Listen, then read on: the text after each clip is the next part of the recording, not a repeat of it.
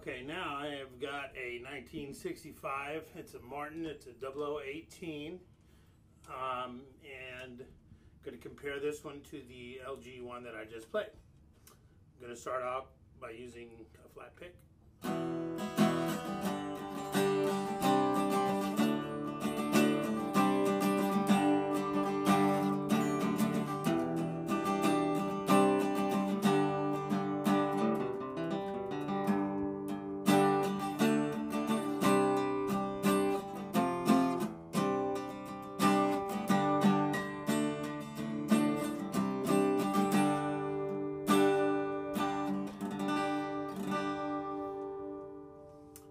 Finger pick a little bit.